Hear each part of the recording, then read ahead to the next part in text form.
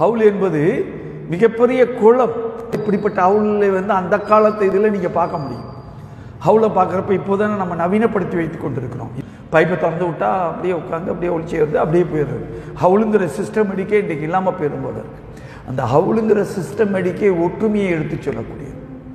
தீண்டாமையை வேறு இருக்கக்கூடிய தீண்டாமை இருக்கு பாருங்க. நீ குளத்துல குளிச்சா தீட்டுடா இந்த குளத்துல நீ குடிக்கக்கூடாதுன்னு சொல்கிறாங்களே அவர்களுக்கு மத்தியில் தான் இஸ்லாம் வந்து தீண்டாமையை வேறறுத்தது. எப்படிப்பட்ட வேறறுப்பு?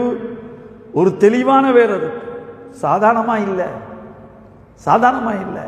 ஹவுலுடைய நோக்கமே தாங்க ஹவுலுடைய நோக்கமே தான் யாராக இருந்தாலும் சரி இஸ்லாத்தை நீ ஏற்றுக்கொண்டாய் என்றால் ஒழு செய்வதாக இருந்தால் நீ ஹவுல்ல அப்படியே அள்ளி கழுவுவாங்க.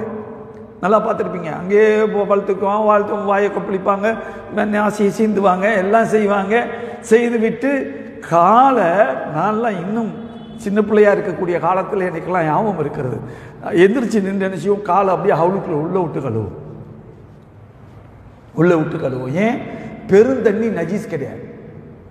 நஜீஸுங்கிற ஒரு உள்ளுக்குள்ளே வராது.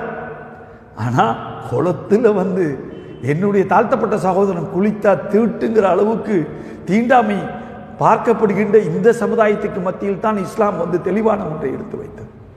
அல்லாஹ் போதுமா.